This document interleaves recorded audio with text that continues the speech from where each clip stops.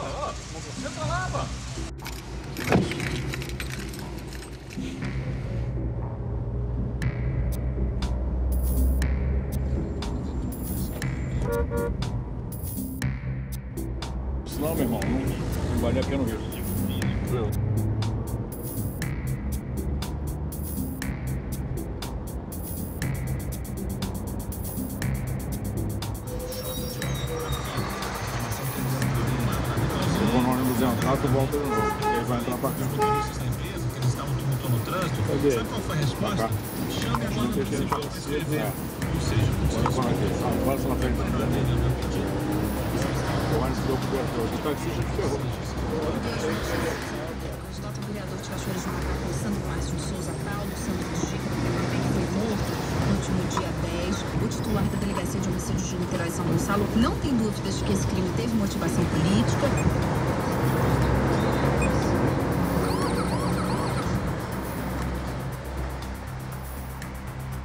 Faz som. Foi som. Foi, cara.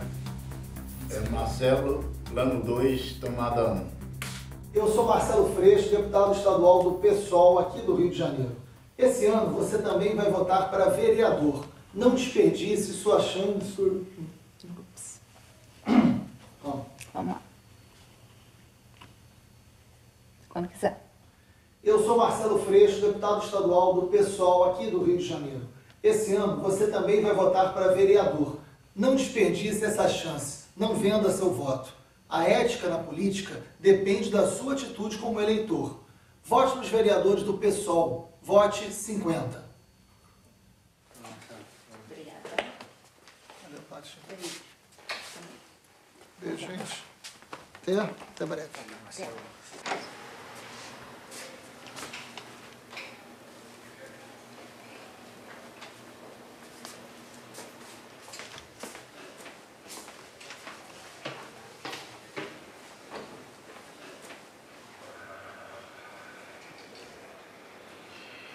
Em alguns momentos eu fico cansado, mas nesse momento não dá para eu falar, olha, fiz a minha parte, estou indo embora, vou voltar da aula, é, vou viver normalmente da minha profissão. No Rio não dá.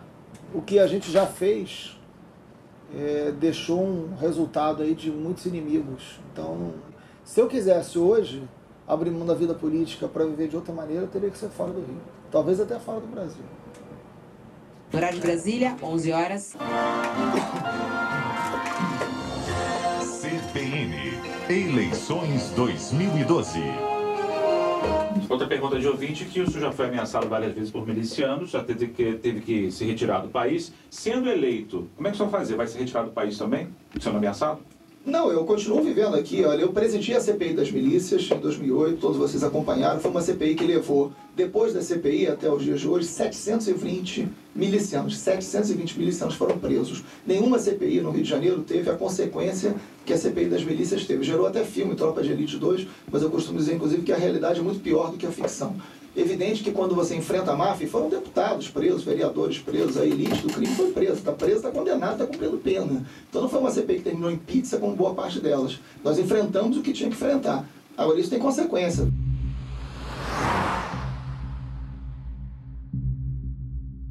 A Secretaria de Segurança recebeu muitas informações de que planos para me matar estavam sendo feitos. E aí eles sempre me repassam. Então de 2008 para cá foram quase 40 denúncias de que planos estariam sendo feitos para me matar. Em 2011 nós tivemos o assassinato da Patrícia Cione, aquela juíza. Foi em agosto de 2011. Passou setembro e outubro eu comecei a receber uma ameaça atrás da outra. Então ali eu senti que depois da juíza eu era o próximo. E aí eu acabei saindo do país, através da lista internacional, fiquei alguns dias fora, denunciei o que estava acontecendo, voltei, aumentaram a minha segurança, né? enfim, botaram mais uma equipe.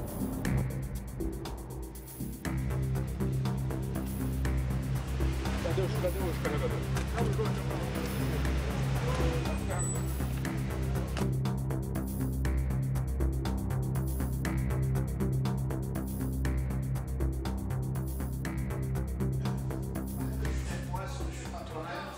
Fez? Pegou o programa bem. Começar agora? Mas já tá começando. Mas o nosso é agora ou no final? Não, já tá indo. Quando presidi a CPI das milícias, fiz 58 propostas concretas para enfrentar essa máfia. Para acabar com o crime organizado, não basta a prisão dos seus líderes. Temos que fiscalizar o comércio e as vans que eles comandam. Você viu isso no filme Tropa de Elite 2, mas a realidade é pior. Eu sou Marcelo Freixo e quero ser prefeito do Rio. Vote 50. É... Como é que a gente responde o a gente já sabe que ele vai responder? Mais do que apresentar as nossas propostas, porque a nossa proposta é um programa de governo. E a gente não vai tentar te explicar elas em um minuto. Então, foca na porrada. Entendeu? Tem que, é, tem que usar mais o tom acusatório. Você fez uma reunião em 2009 com vários milicianos já iniciados na CPI, das milícias. Qual era a pauta? Quem é que estava presente? Quanto tempo? 25. Tá bom.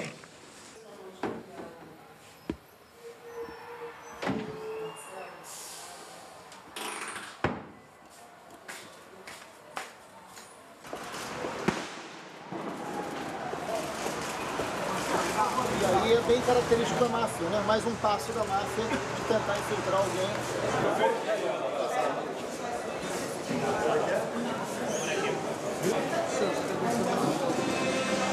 Olá, boa noite. Boa noite. Começa agora a cobertura especial do debate das eleições 2012 aqui na Rede TV. Eduardo Paes é do PMDB, nascido no Rio de Janeiro, tem 42 anos. É o atual prefeito do Rio de Janeiro. Marcelo Freixo é do PSOL, nascido em Niterói, tem 45 anos. É professor de História, deputado estadual e presidente da Comissão de Direitos Humanos e Cidadania da ALERJ. Você em 2009 fez uma reunião com milicianos na prefeitura. Quem eram essas pessoas e qual era a pauta da reunião? Obrigado, candidato. Freixo, candidato Eduardo Paes, tem muito direito à eleição. Nós estamos aqui para debater a cidade, não esse tipo de acusação pessoal. O senhor sempre ah, invoca, o seu, evoca o seu relatório da CPI das milícias para dizer que eu tinha que saber que pessoas que eu recebi na sala do prefeito, eu recebo muita gente na sala do prefeito, não peço ah, certidão de antecedentes criminais para as pessoas que eu recebo, nem, nem eu, nem o seu partido, pelo jeito, pede esses certificados de antecedentes criminais. Quer dizer, o senhor, eu, eu, eu vi, eu tomei um susto com a história que tem um candidato a vereador do seu partido que é miliciano né, que está citado no seu relatório, se nem o senhor, o seu partido lê o relatório da CPI, que o senhor fez, deixa o sujeito virar candidato a vereador, eu sou obrigado a saber todo mundo que está no relatório da CPI, aqui não é a Bíblia. E a Bíblia é um livro de respeito, o relatório da CPI deve ser um bom trabalho, até porque foi feito por outros deputados que eu conheço. Agora, eu acho que a gente tem que ver esse processo todo, ter mais respeito, não tem relação nenhuma com o miliciano, eu dialogo com a cidade. Aquela reunião você se reuniu com o Dalcimir, você se reuniu com o dito Cabeção, você se reuniu com o Gringo, você se reuniu com líderes de milícia. São pessoas citadas no relatório, não. São pessoas chefes da milícia. Aquela reunião não era só um acaso, era para decidir o transporte alternativo, principal fonte econômica da milícia. Obrigado, candidato Freixo.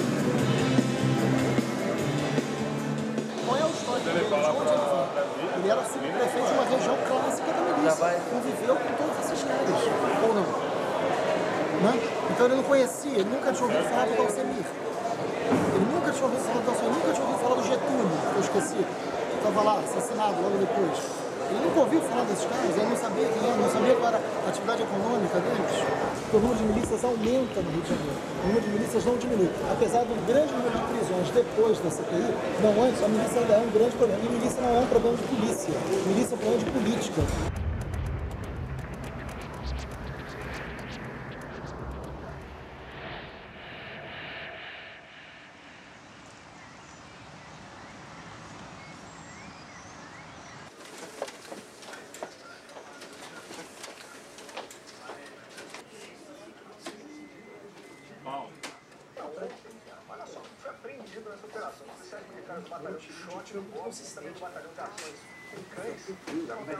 A milícia ela surge por volta do ano de 2000 e a milícia é o domínio de território feito por grupos armados ligados à segurança pública. Ou seja, um processo muito grande de, de, de desgaste da polícia, um processo muito grande de deturpação da função policial nas áreas pobres do Rio em função do enfrentamento ao tráfico, gera uma polícia muito sem controle, gera uma polícia muito corrupta e muito violenta. A milícia, na verdade, é uma máfia, é, sempre coordenada. Quem está à frente da milícia sempre é um agente público da segurança, nunca é uma pessoa da sociedade civil, que dominam territórios amplos no Rio de Janeiro, são muitas áreas no Rio de Janeiro hoje dominadas pela milícia, e que eles dominam o, a venda do gás, que não é gás encanado, é o botijão de gás, o transporte alternativo, as vans, o microbus, eles dominam é, o que eles chamam de uma prática de empréstimo de dinheiro eles dominam Gatonete, que é um entretenimento de TV clandestino, tudo ilegal, tudo isso ilegal, e eles é, cobram a taxa de segurança, os moradores pagam para eles. Né? Isso gera um dinheiro enorme. E ao dominarem socialmente, ao dominarem economicamente, eles passam a dominar politicamente. Eles percebem que esse domínio deles poderia gerar também um resultado eleitoral. Então eles se candidatam.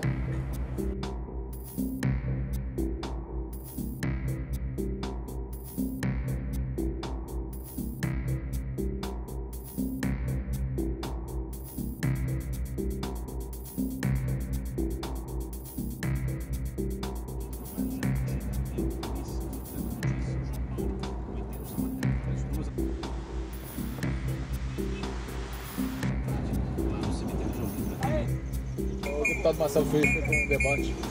O carro de trás é escolta, né? O carro de trás é escolta. Olá, Marcelo Freire, deputado da Prefeitura do Rio de Janeiro, São Paulo.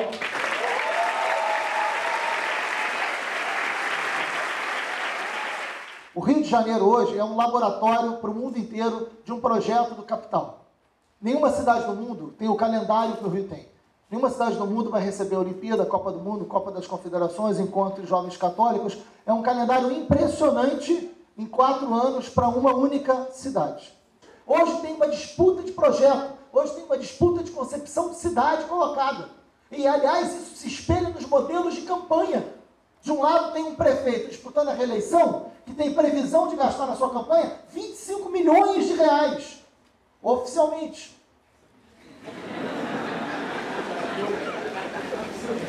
Ele faz uma aliança com 20 partidos para não deixar ter segundo turno. Porque ele está preocupado, está desesperado. Estão fazendo campanhas absolutamente covardes. Fazendo a campanha mais suja que já se viu. O prefeito Eduardo Paz é vinculado às milícias, é isso que você está dizendo? Ele não é dono de milícia, mas que ele tem responsabilidade no crescimento das milícias, eu digo abertamente. Tem. Digo isso publicamente. E se ele fosse aos debates, poderia falar isso junto ele, ele obtém votos a partir dessa ação? Claro sim. Só ver o mapa eleitoral dele. Onde ele ganhou a última eleição em relação ao Gabeira? Onde foi a votação determinante dele? Com apoio de quem? Quem os milicianos apoiaram no Rio de Janeiro e quem que os milicianos apoiam hoje? Portanto, a sua tese é de que ele faz isso voluntariamente? Claro, não. O mais bobo não será. O mais bobo é suplente. Né? Claro que é voluntário, imagina. Candidato, o que o senhor está dizendo é muito grave. O senhor está dizendo que o poder público do Rio de Janeiro favorece um grupo criminoso, que é a milícia. E não se toma nenhuma providência em relação a isso? Aí tem que chamar de Ministério Público. Né?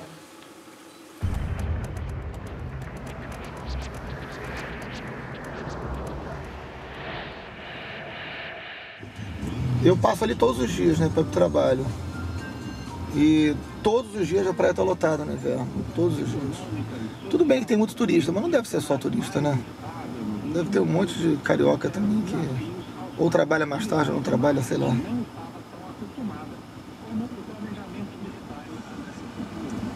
Dá uma inveja. Olá.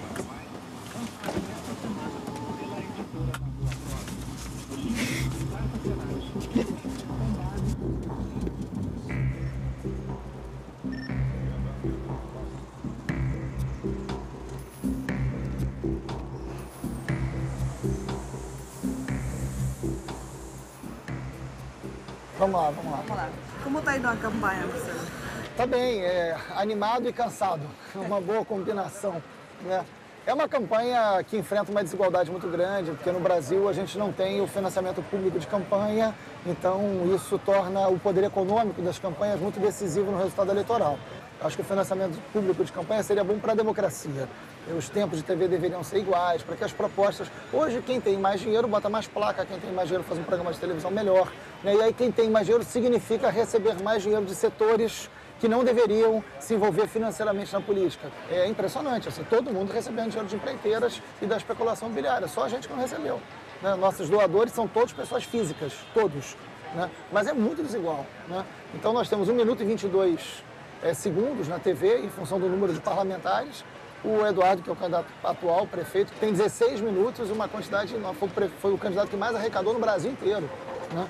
É, enfim, isso é, isso é uma campanha muito desigual. Mas a, Posso falar lugares onde não dá mesmo para ir, por exemplo? Não, tem vários lugares, por exemplo, é, uma comunidade dominada por milícia, aí não faz sentido eu entrar para panfletar, entendeu? Enfim, tem, tem territórios que a gente, por prudência, não vai fazer. Tem muitos eleitores lá. E com muitos eleitores. É a região com maior população do Rio de Janeiro. Um terço da população mora na Zona Oeste.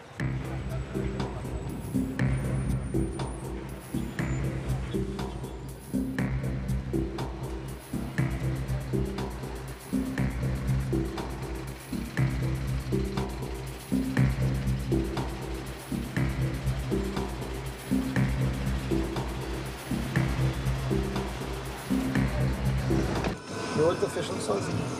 Não, você me ligou aquela hora, eu falei, caramba, só tá acordado já, preciso acordar mais tarde.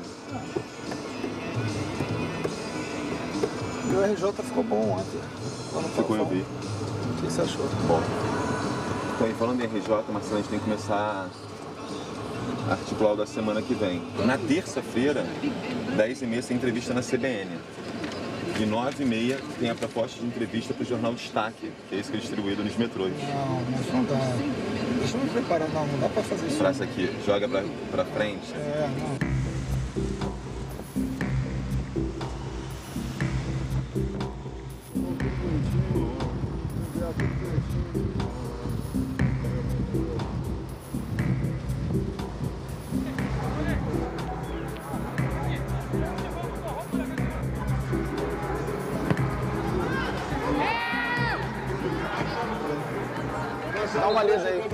Tá? Aí, ó. Dá uma lida aí. Dá uma lida aí. Como é que tá o senhor? Você tá bem? Mesmo quando a milícia, a Carminha veio aqui, invadiu Pois isso é. aqui. Encheu de placa aí, né? na casa de todo mundo no peito. Dá uma parecia, lida aí, irmão. Parecia até uns urubu na carniça. Aí eu falei, o cara assim, pô, mas é muita cara, Cara de pau, né? cara. Mas eles vieram com um batalhão de gente, cara. Pois é, é grana, né? É, É. dinheiro, né?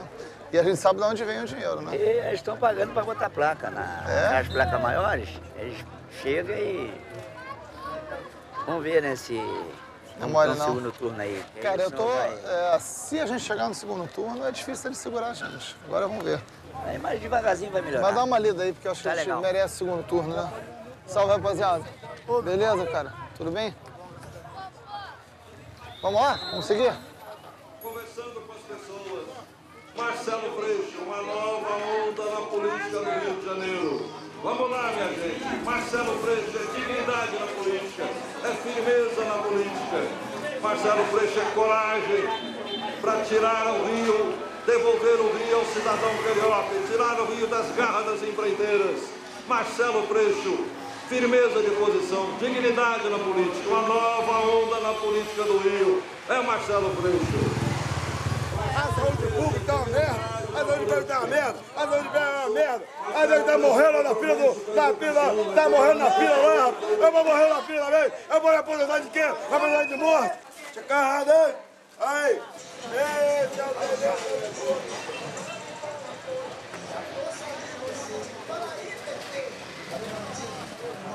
Você perde a.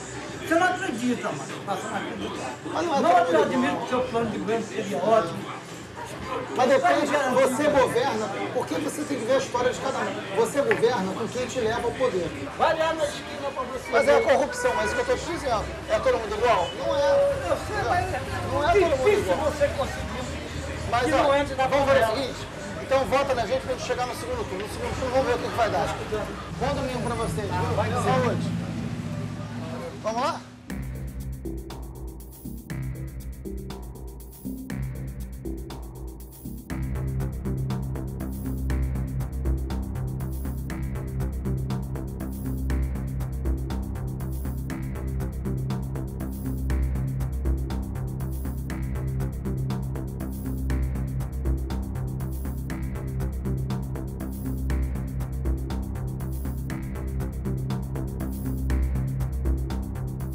Em 2006 foi o ano do maior crescimento das milícias no Rio de Janeiro. Eles tomaram muitos territórios é, nas favelas do Rio de Janeiro e na periferia, avançaram muito. Tanto é que em 2007, quando a gente assume, o primeiro ato nosso aqui na Assembleia Legislativa foi pedir a CPI das milícias. A gente sabia que era difícil, o maior miliciano era deputado aqui comigo, tinha sido eleito. E eles tinham uma força política muito grande, estavam no auge. Muitos comandantes de batalhões diziam que era um mal menor, o ex-prefeito dizia que era autodefesa comunitária, o atual prefeito elogiava as milícias. Eles eram tratados como uma solução, porque acabava com o tráfico. Né? E tinha uma aceitação popular também, diga-se de passagem. Vários moradores diziam que é melhor ter a milícia do que ter o tráfico. Porque é máfia, toda máfia domina com um braço do terror e com um braço da assistência. Então todo miliciano te cobra, se você errar ele te mata, mas ele te, ele te assiste, ele te ele cuida de você. Enfim, eles ganham muitas aceitações. né? Inauguram obras junto com o governador e com o prefeito. Né? Então, enfim, são representantes do crime e do poder.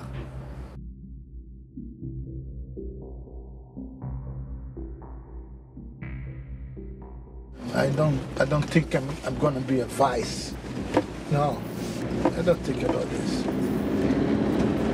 But he knocked my door. Marcelo go there and ask me, You want to go with me? And I say, Wow man, you are crazy. But then I follow my heart. And my heart say, You have to go.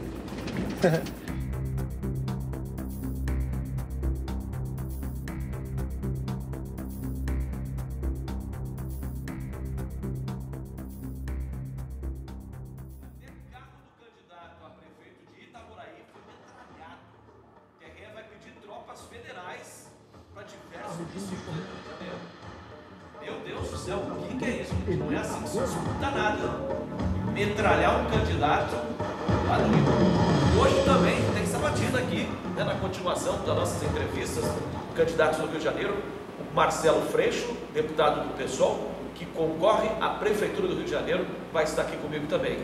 Cachorro esperto vira xodó de padaria. Daqui a pouco você vai conhecer a história. Simpático vira-latas só aparece na padaria na hora que o pão está quentinho no forno. Os problemas sociais no Brasil a gente vê que só vira problema de polícia. Operação contra o tráfico de drogas, chamada tiroteio. Nossa equipe passou por momentos de tensão. Deixa eu ver, o Wagner Oliveira estava lá, aí.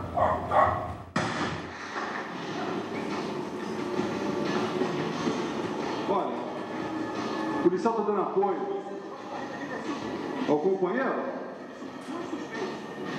tem direção de onde estariam alguns traficantes tentando surpreender a polícia a gente não deseja nem morte para bandido, né? Porque a gente tem DNA de ser humano, a gente quer a vida? Mas entre um policial, entre um cidadão de bem, o cara escolheu essa vida, que caia ele, então.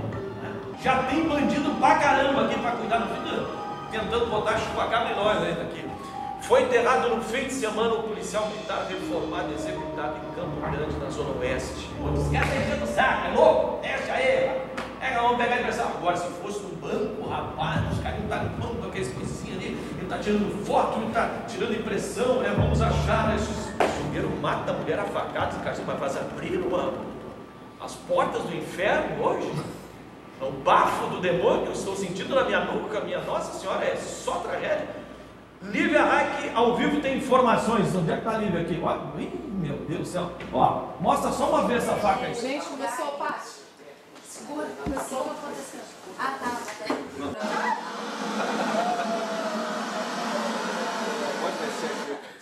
O que a gente não quis fazer foi essas alianças espúrias que têm levado a grandes práticas de corrupção. Corrupção não é um comportamento individual, é uma estrutura de poder. Se empreiteiros, empresários de ônibus e bancos são seus financiadores de campanha, o seu governo vai ter que agradar a eles. Isso nós rompemos.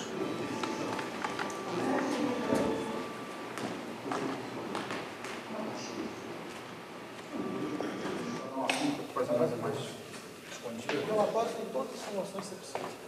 Um relatório oficial.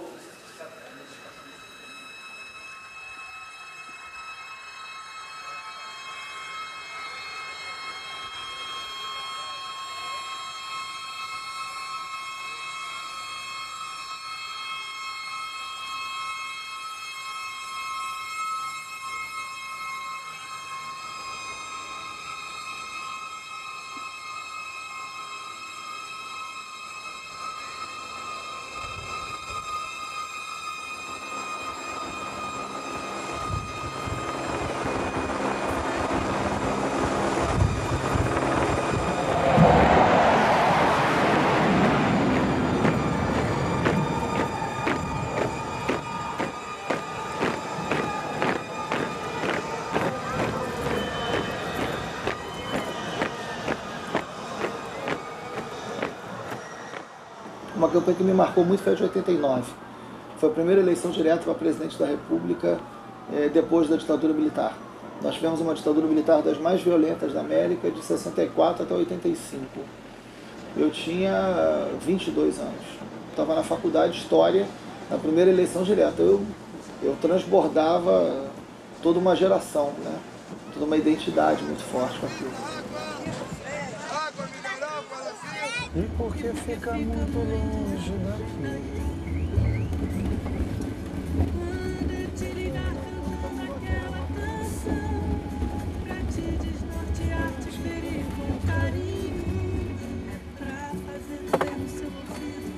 Tudo bem, meu? Tudo bem? Como é que você tá? Ótimo. Porque eu tô com a escolta aí com arma. Boa. Pode parar aqui? Vai sim, Eu vou pedir para eles pararem, eu já subo. Tá.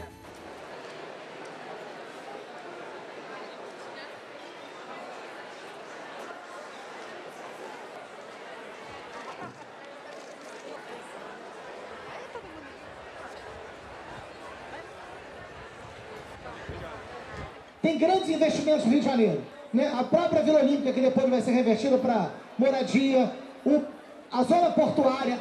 Quais desses grandes empreendimentos está sendo pensado para equipar a questão do déficit habitacional do Rio de Janeiro? Nenhum. E hoje a gente tem uma prática fascista das remoções. Fascista. Marcam a parede das casas, não dialogam, não cumprem a lei no que diz respeito à proximidade do lar. É algo absolutamente fascista. Nós queremos a Olimpíada, nós queremos a Copa do Mundo, mas nós queremos medalha de ouro na transparência com recurso público, porque hoje isso não existe. Eu estou deputado, mas sou professor de história, e durante muitos anos da minha vida, trabalhei com educação popular, nas favelas e nos presídios do Rio, por mais de 20 anos. E sempre trabalhei junto com a perspectiva da aproximação da educação com a cultura. A cultura é muito mais do que a nossa possibilidade de bater palma. É a nossa possibilidade de mudar a vida de muita gente. Vamos lá. Já avisei pra ela que você vai ligar. É, ela tá falando todos os candidatos. né? Fechou, gostei da resposta, hein? Foi bom, né? Foi bom, é. foi danado. Juventude judaica de esquerda junto.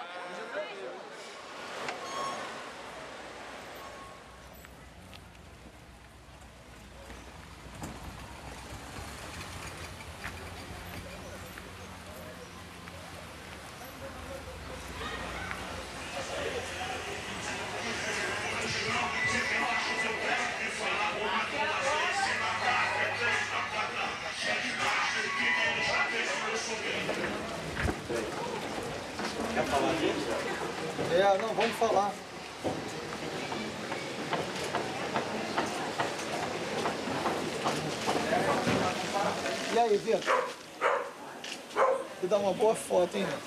Pode vir, Marcelo.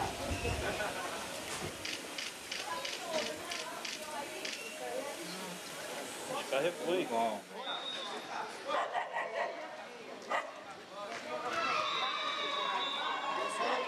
Não vou votar nele, nenhum deles. Já passa todo dia aqui. Nunca peguei honrado. Bota agora um Chico. Ah,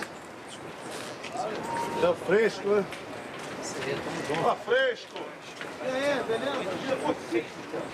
Ô de casa. Tudo bem? Posso falar contigo?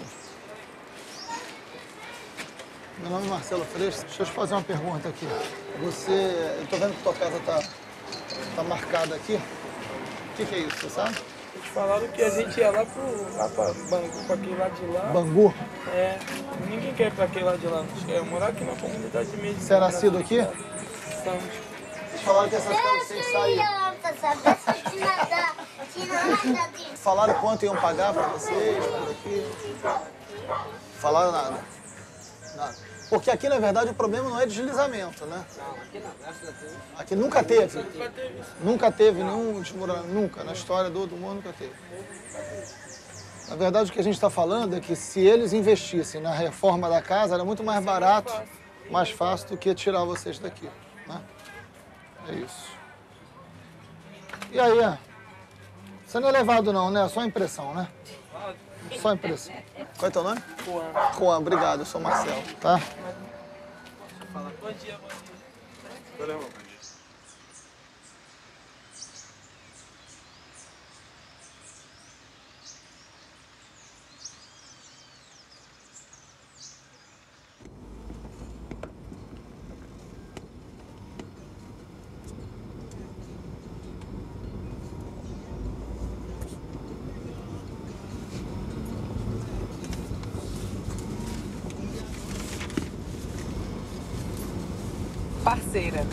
Renata Stuart Freixo, 33 anos, baiana, 30 anos no Rio de Janeiro, casada há 3 anos com Marcelo Freixo. Ela participa ativamente da campanha do marido, aqui não poupa elogios. É muito bacana estar ao lado de alguém com os meus ideais, diz Renata, que já sabe onde deseja atuar caso Freixo seja eleito.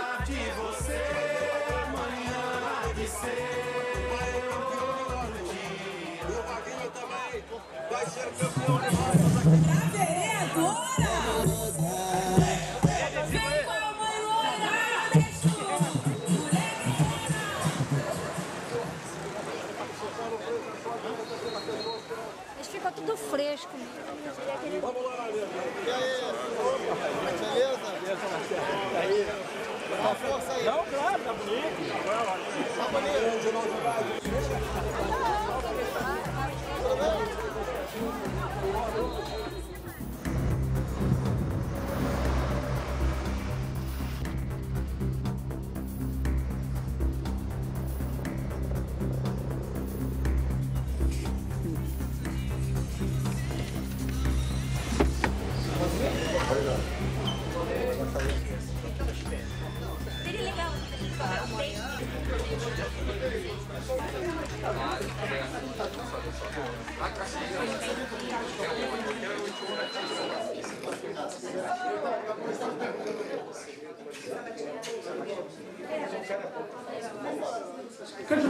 coisa, como é que a gente concilia, o, por exemplo, toda essa questão de, invasão, de ocupações irregulares com a necessidade da cidade se planejar e crescer? Porque se a gente, se, se a gente pensar, vamos manter todas as áreas que estão irregulares, como é que, como é que você planeja uma cidade para uma cidade ser adequada para todo mundo? É, é meio difícil conciliar Concordo inteiramente, mas hoje, por isso que o que está em disputa no Rio de Janeiro é uma concepção de cidade.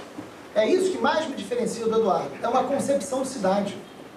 É isso, não é quem é mais honesto, quem é mais menos honesto, não existe isso. A questão é a seguinte, a gente é muito diferente da conduta da vida pública, muito diferente da percepção, mas tem dois projetos de cidade distintos. É isso. Tem um projeto de cidade, tem um eixo, Zona Sul, Barra da Tijuca, envolvendo determinadas, é, determinados interesses econômicos extremamente fortes, para um projeto de cidade, que aí tem a ver com o calendário que está colocado pelo Rio de Janeiro, e tem uma outra que pensa a cidade para as pessoas. É inadmissível hoje o abandono que você tem na Zona Norte na parte da Zona Oeste, que não interessa. Uma cidade para os negócios não precisa ser uma cidade distante dos direitos das pessoas. E hoje, a lógica dos negócios é isso.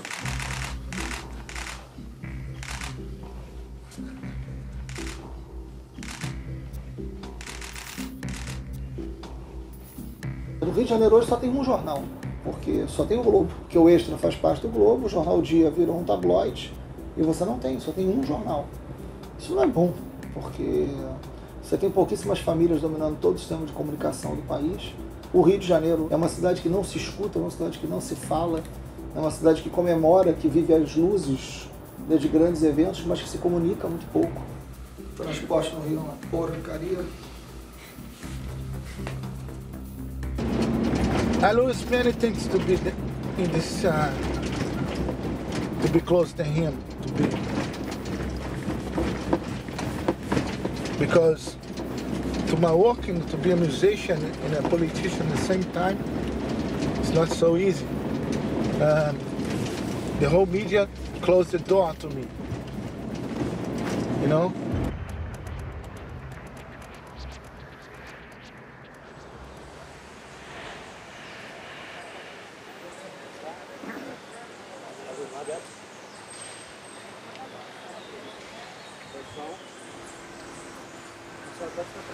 Alô, alô. O metrô do Rio é uma merda. Isso. Pra dar a leitura ali do generalzão. Bom, tá rodando aqui pra todo mundo? Como quiser, Marcelo, tá rodando. O metrô é um transporte estadual, mas. No nariz. Vamos? O metrô. Alguém tem um chumbinho? O metrô é um transporte estadual, mas seu.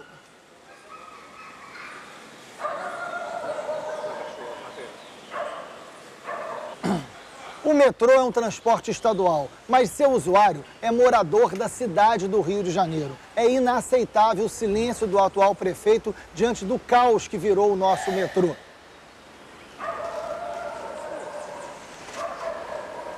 Tá foda. É inaceitável o silêncio do atual prefeito diante de tantos problemas. Nós vamos entrar nesse debate. Atualmente, é, a senhora também. A senhora acha que pode falar qualquer coisa para qualquer um? Eu, hein? Vocês estão falando aí qualquer coisa. Ah, eu tenho que ouvir o que a senhora acha, tem que falar? Ah, eu, hein? Todo mundo é bom. Ah, não, não. Não, a senhora que é uma ignorante. Segura a onda, cara. Deixa. Você não pode se envolver nisso. Ninguém da tua equipe pode se Então envolver. vai investigar, vai olhar quem é quem. Não generaliza não, não acho que todo mundo é igual não, porque não é não. Não sou obrigado a ouvir. Ah, tá. Mas eu tenho dignidade, vergonha na cara, eu não sou obrigado a ouvir qualquer coisa não. Eu, hein? Que isso? Vai me chamar de canalha? De maneira alguma.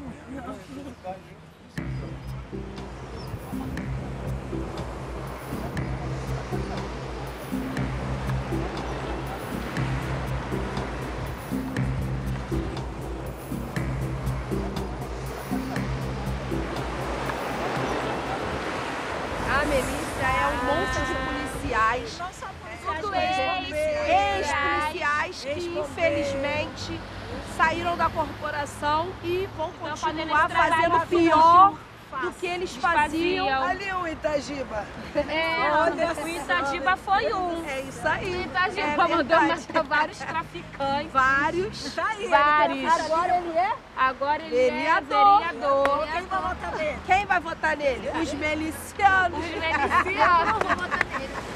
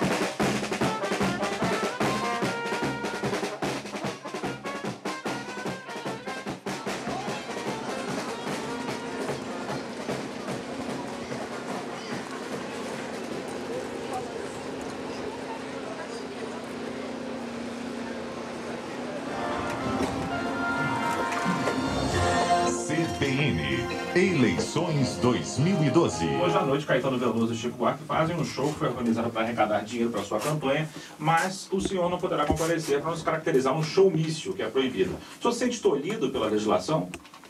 Olha, eu passei, minha, Maurício, eu passei minha vida inteira ouvindo o Chico Buarque e o Caetano Veloso, né? E nesse momento os dois vão se juntar ao palco, depois de 20 anos, se não me engano, que eles não sobem juntos um palco. Nunca votaram, o Caetano e o Chico, que são dois nomes, enfim, internacionais, eles nunca votaram no mesmo candidato. Nunca fizeram campanha, é a primeira vez que eles fazem campanha para o mesmo candidato. Isso diz muito, né, para essa eleição. Eu acho que a justiça exagera quando me impede de ir, né? Afinal de contas, que tenho o direito de ir e vir. Se eu subisse, falasse, pedisse voto, acho que era uma outra coisa. Agora, proibir de ir, mas eu não vou questionar, eu não quero, eu já tenho problema demais. E eles depois, enfim, eles vão doar essa bilheteria, como o Caetano já anunciou, para a campanha. Isso já valeu a pena qualquer coisa que a gente tenha feito até agora. É uma, é uma honra muito grande. E um dos seus adversários, o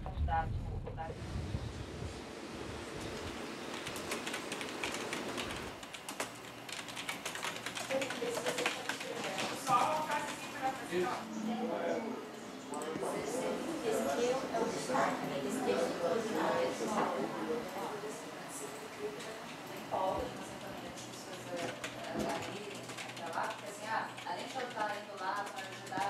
Tá. Bom, deixa eu te falar outra coisa. Você, você escreveu uma nota, não escreveu no. do, do negócio do, da bandeira se queimar? Não, esquece, esquece. Não vamos tocar nesse assunto.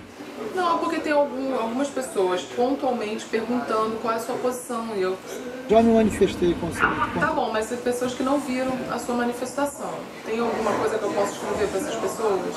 Então, é, já me manifestei sobre esse assunto, sou contra a queima da bandeira é, e agora o importante é, é tratarmos dos temas municipais. Você não, fala- não vai falar que você defende os dois estados? Não, não, eu não quero, eu não quero entrar nesse assunto, sabe? Não quero... Ah, tá, mas eu tô te falando que você vai ter que entrar nesse assunto de novo, tá?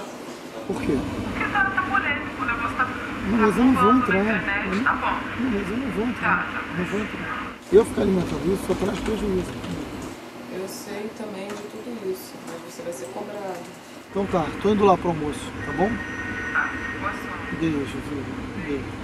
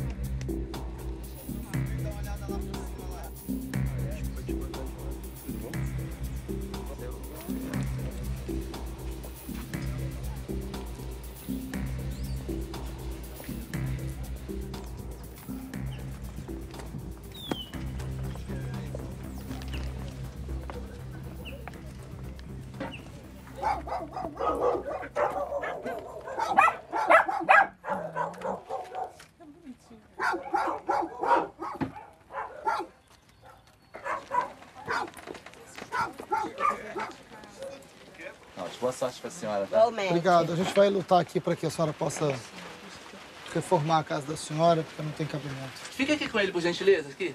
Exatamente, isso. Conversando com ele, isso. Conversando com ele. Opa, cuidado. Pode ficar conversando. Aí, filha, a minha situação é essa, dentro deste barraco aqui. Tenho fé. Amém. Vamos com Deus. A gente não pode colocar isso em tom de, de crítica, reclamação, né? Não, as minhas eu tô fazendo tudo É, proposta, mas você é. construiu o É, teu texto é, sem dizer que tem reclamação numa o situação morador. dessa. Fazer aos moradores. ouviu do morador o quê? Claro. Primeiro que as favelas precisam ser pensadas como espaço constituído da cidade. O Rio de Janeiro não existe sem as suas favelas. E nas áreas do UPP, que é uma conquista da cidade, é fundamental que a prefeitura garanta os investimentos da UPP social, que não estão acontecendo. A UPP é importante, mas a UPP não pode ser feita só pela polícia. Então é fundamental a coleta do lixo, é fundamental a construção de creches, é fundamental a urbanização dessas favelas e o controle e o diálogo com esses moradores. Hoje falta democracia na relação entre a prefeitura e essa comunidade. Não, não. Obrigado, Paty.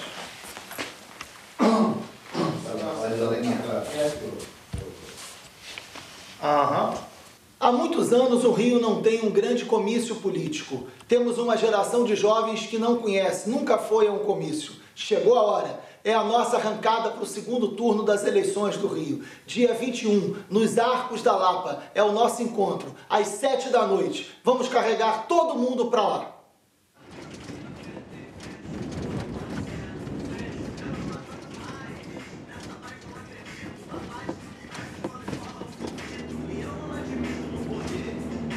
Alguém que não me escute, não me deixe entender. Não perca o grande comício de Marcelo Freixo. Sexta-feira, dia 21 de setembro, às 19 horas, na Lapa.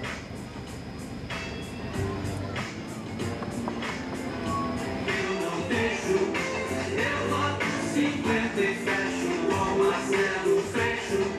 Meu nome é Caetano Veloso e eu fecho com Freixo.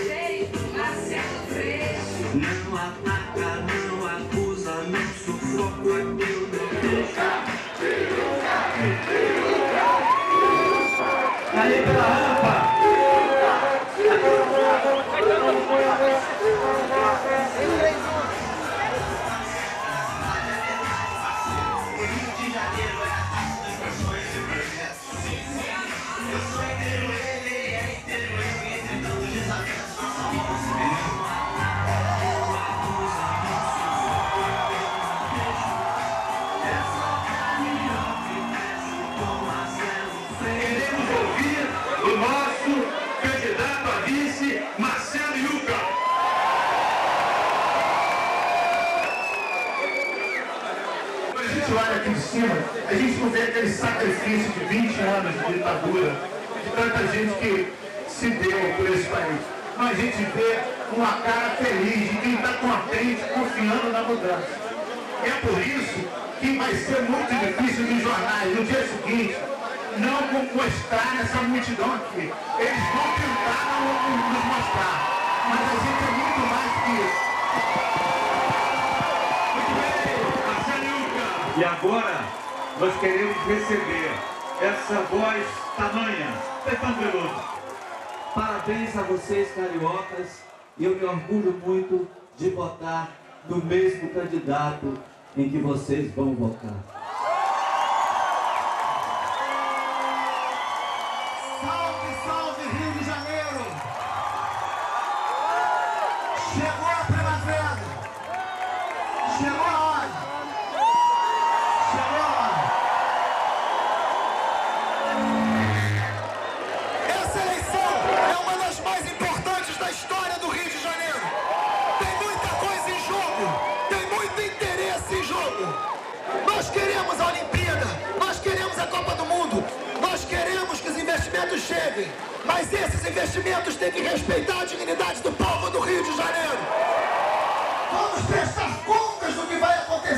E vamos garantir transparência absoluta. Uma cidade boa para a Olimpíada tem que ser uma cidade boa para quem vive aqui. Essa cidade não pode ser boa por 15 dias ou por 30 dias.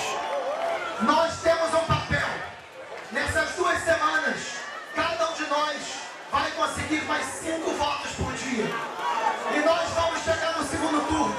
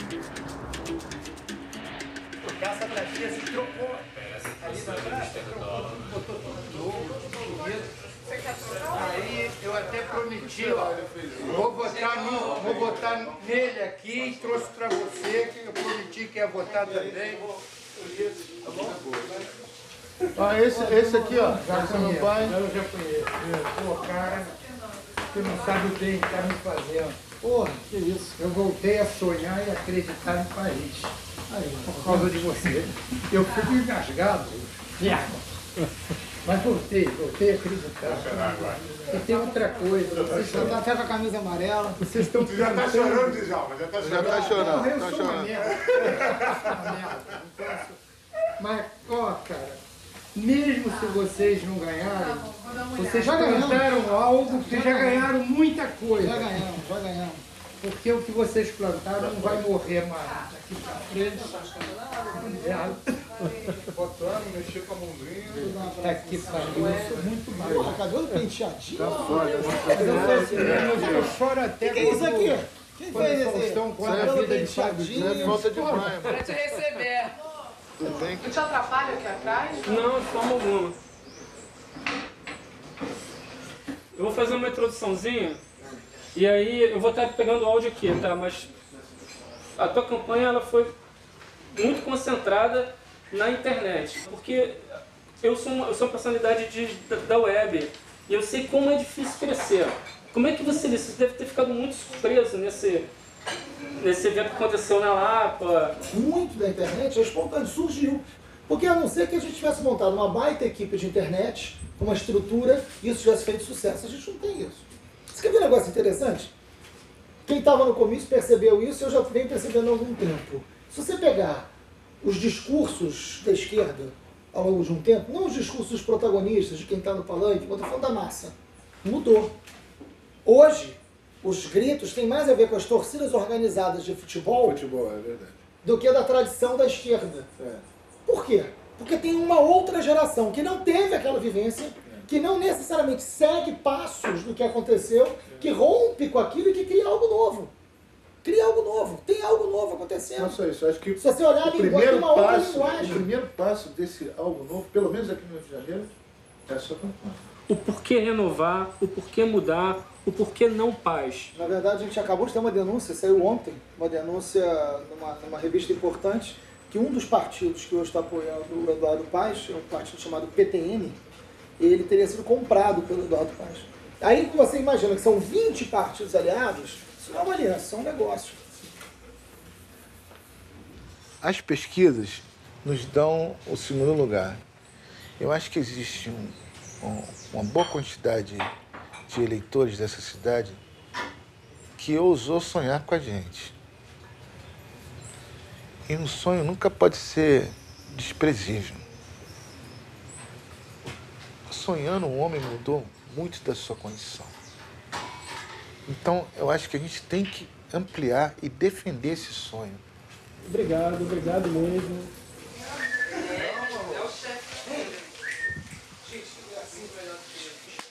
Eu, eu teria todo o motivo do mundo para não acreditar nas pessoas. Todos, todos. Mas eu acredito. Porque, cara, em cada esquina tu pode encontrar um cara como ele. É verdade. Esse país é bonito não é porque é geograficamente bonito. É porque tem pessoas assim que não se curvam. Não se curvam, não vão se curvar. E o Marcelo é o inevitável. Ele é o efeito colateral positivo de anos e anos de, de co- corrupção, de, de abuso de poder. Uma hora ia aparecer alguém como ele. E apareceu e é ele. E isso não cabe no Rio de Janeiro. Não é só para o Rio de Janeiro. Pô, que barato, Rosnei. Dura a cozinha. Tá marrom? Tem arroz? Vou pedir um... Vou subir mais de Eu tô achando que essa é mais baixa. Tá, mas eu acho. uma almofada. Cortei. Não, não, não, não cortei, não cortei. Muito obrigado a cada um de vocês. Muito obrigado aos movimentos sociais. Muito obrigado a essa juventude que deu toda essa certeza de que a vida política e a vida coletiva vale a pena. Muito obrigado. Até o segundo turno. Muito obrigado a você, Marcelo Freixo, por ter me deixado com porra nenhuma para falar daqui.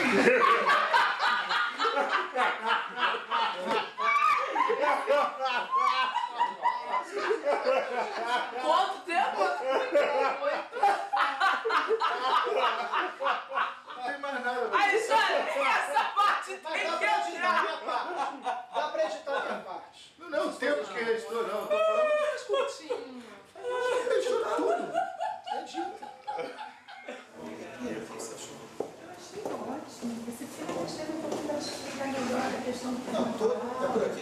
Bom dia, deputado Marcelo Freixo. O senhor surpreendeu em escolher o músico Marcelo Yuca como vice. Há poucos dias, ele que surpreendeu ao dizer que tem vergonha de pedir votos, que não se sente candidato, não é político, que chegou a se arrepender de ter aceitado o seu convite e que continua tendo sérias críticas à política partidária, inclusive ao próprio PSOL. O Yuca foi uma grande escolha. Quando ele diz que ele não é político, ele não é um político tradicional, ele não é essa pessoa de carreira política, ele não depende da política para viver. E isso é muito bom, né? Yuca é um poeta, é um artista, é uma pessoa que foi vítima da violência e nunca reagiu com ódio, é um, para quem não conhece e está nos ouvindo, foi o baterista do Rapa durante muito tempo, então boa parte das letras do Rapa, que são muito interessantes e dizem muito sobre a cidade do Rio de Janeiro, foram letras feitas por ele, O Iuca olha para o Rio de Janeiro através da arte. Isso é muito importante para a política. E quando ele nega a política tradicional, ele não nega a política que a gente está fazendo, ele nega a política que a gente está enfrentando. Obrigado por ter vindo e boa sorte. Obrigado, Maurício. Obrigado, Lilian. 11 e 29.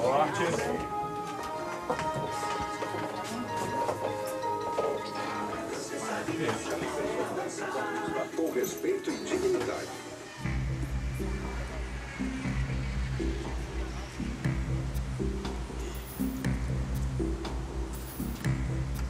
Demora tantas mesmo, não sai? É, não, Fred Dias, porque o outro vídeo também entrou em contato com a gente sobre isso. E assim. Ah, beleza, valeu.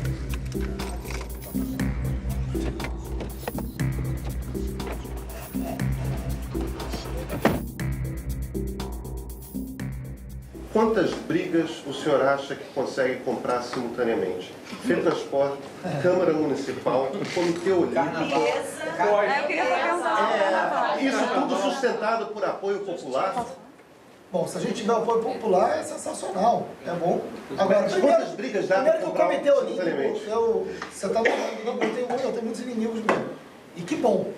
Não, não, sim. Bom. Quantas brigas dá? Agora, as brigas que forem necessárias para defender aquilo que eu acredito.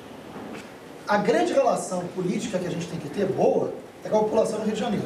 Se para isso tiver que enfrentar inimigos poderosos, que sejam enfrentados. Tudo bem, deputado, mas é- é- é- todo candidato sempre fala que ele vai fazer tudo com apoio da população. É- Não, olha, a gente enfrentou as milícias, não enfrentou? Enfrentamos as Sim, mas essa é uma briga. Aliás, a gente está propondo... Uma briga com foco, talvez duas brigas com foco. É, é, E o resto- é o resto a gente compõe, Não, não é o resto a gente compõe, deputado. É uma questão de ordem prática. Quantas brigas dá para brigar simultaneamente com toda a estrutura de poder do Quantas Rio? forem É claro que tem necessárias. coisas... Quantas forem necessárias. Quantas forem necessárias. O que não pode é que a gente se venda. O que não pode é que a gente se adapte. O que não pode é a gente achar que é normal o que não é normal. O que, o que não pode é eu ceder e falar, não, isso é só um pouco corrupto. É isso que não pode.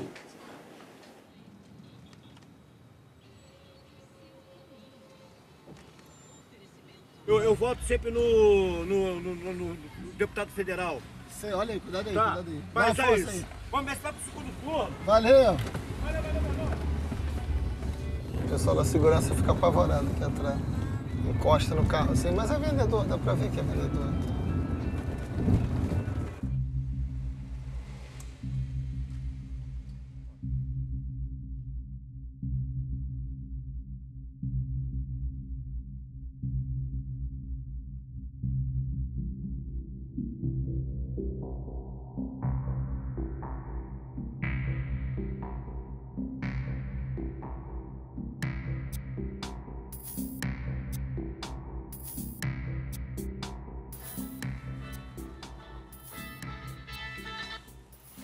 Oi, Paula.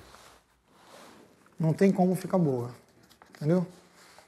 Não, não, não tem mágica. Eu falei durante muito tempo, falei várias coisas. É, foi a minha, a minha fala. É, mas Paula, o jornal Globo é o jornal Globo, eles estão em campanha. Eles estão em campanha. Agora eu estou concentrado aqui no, numa coisa de estudo. Tá bom, beijo.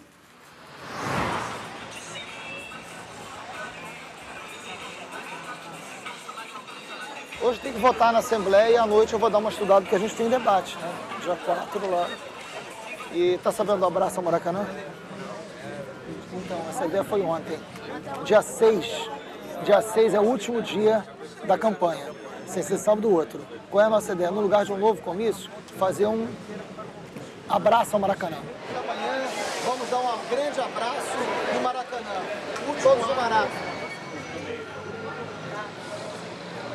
Vamos fechar o segundo turno, a campanha para o segundo turno, número 50. O Maraca é nosso. Porra toda de novo. Chegou a hora. Sábado, dia 6, convocação geral. 11 horas da manhã, vamos dar o grande abraço no Maracanã. É isso aí. Esse grande abraço junto pro segundo turno, 50.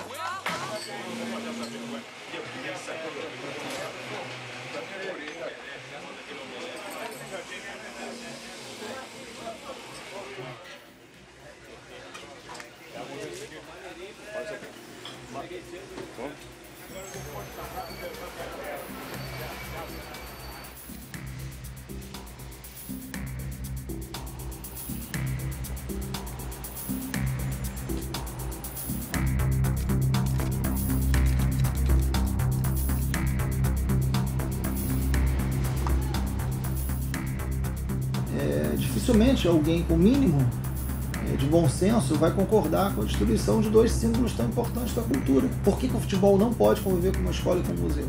Para fazer um estacionamento, né?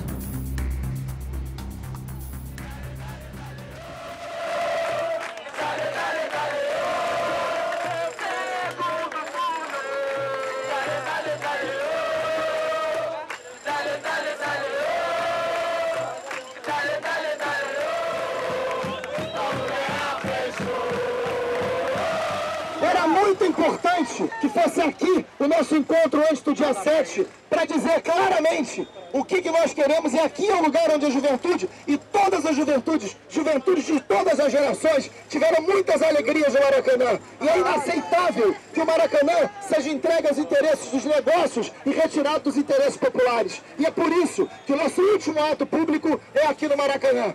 Vamos começar a puxar quem está lá no canto, vai começando a dar mão um ao outro e vamos começar a arrastar para lá, para os dois lados.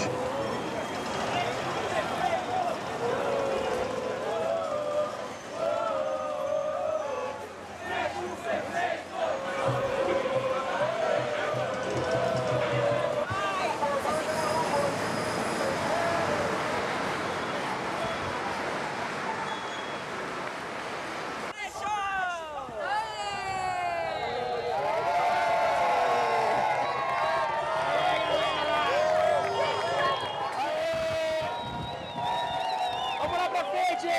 Já abraçamos o Maraca!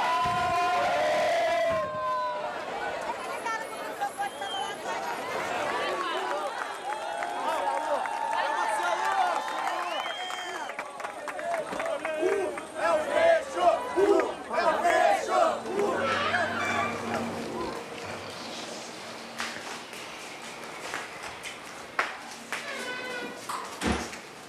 Fala quieto.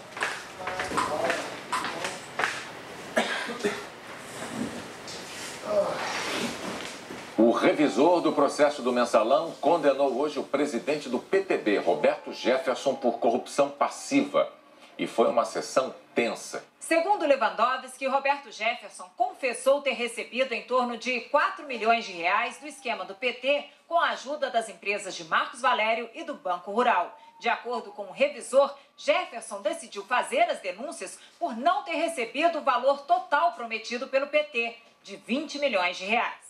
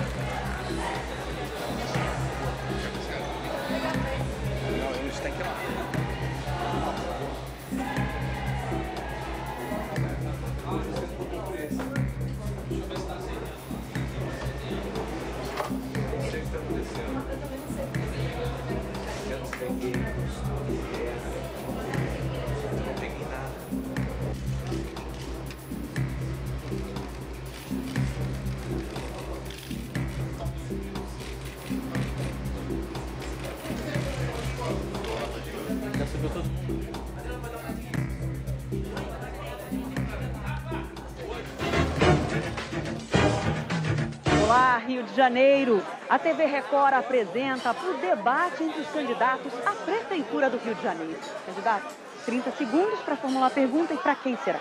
Marcelo, nos últimos dias, a revista Veja veio com denúncias graves. Né? A possível compra de partidos políticos. O PTN, que é um partido que não tem nem representação. Qual a sua opinião sobre esse episódio? Olha, Rodrigo, eu vou ler aqui o que, que o presidente do PTN falou. Ele foi flagrado, não fez uma denúncia. Uma reunião que ele fez. A frase dele é a seguinte: O cara dá 200 mil para dentro.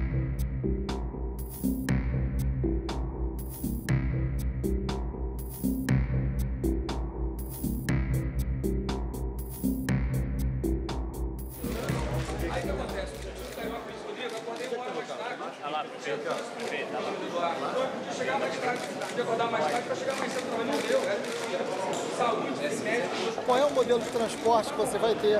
Qual é o modelo de saúde? Qual é o modelo de educação? As políticas públicas, elas são definidas com quem você chega ao poder, com seu leque de alianças, com a capacidade ética da transparência política.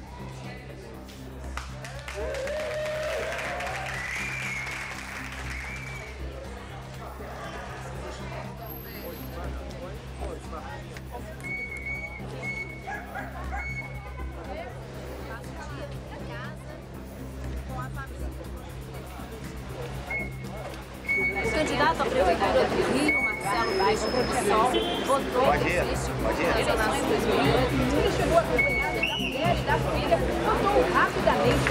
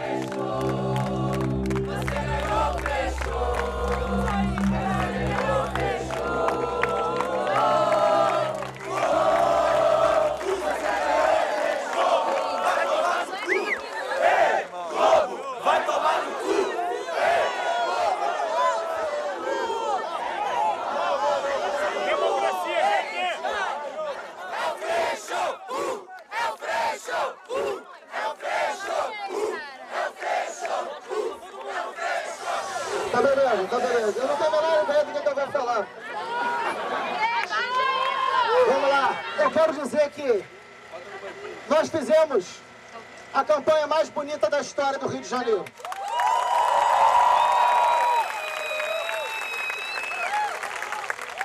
Nós enfrentamos o poder econômico como nunca antes numa eleição no Rio de Janeiro foi montado. Nós chegamos aos 900 mil votos, nós chegamos a 28%. E não fizemos as alianças espúrias, não fizemos, abrimos mão de ter muito tempo na TV, mas não abrimos mão das nossas convicções e da história de cada um de nós.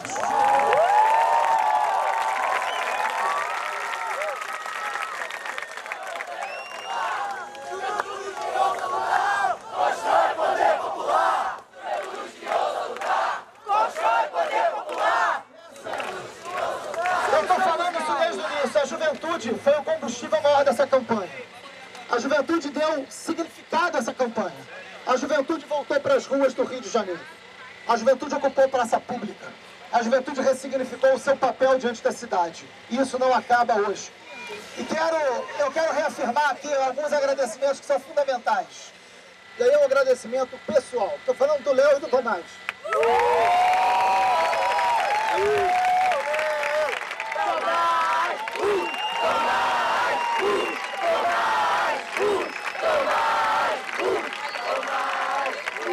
De todo aplauso que eu estou recebendo, eu quero que divida com essas duas figuras.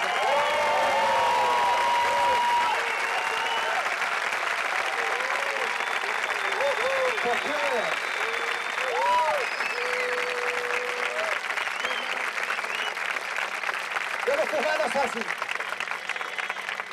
Eu não fiz nada sozinho. E a precariedade estrutural da nossa campanha caía muito nas costas dos dois. Não foi fácil. Mas essas dificuldades, essas limitações, chega nesse momento, elas são símbolos de um enorme orgulho. Enorme orgulho. E eu quero dizer, eu estava esperando estava enrolando para que isso acontecesse, mas está chegando uma pessoa que eu quero também agradecer muito.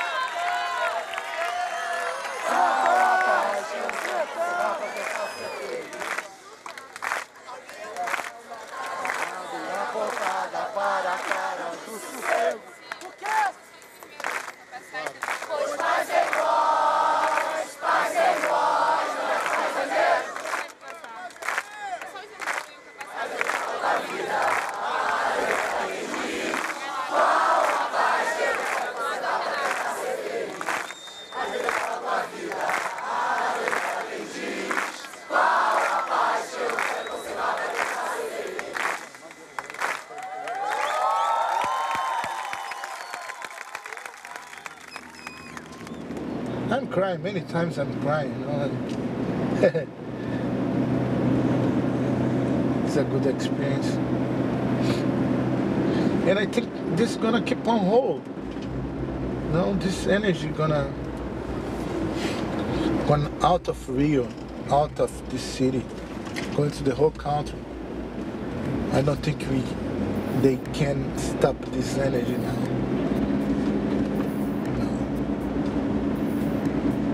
You can see in the eyes of these kids because we have a, a reason to go into the street again. And this is so beautiful, so strong.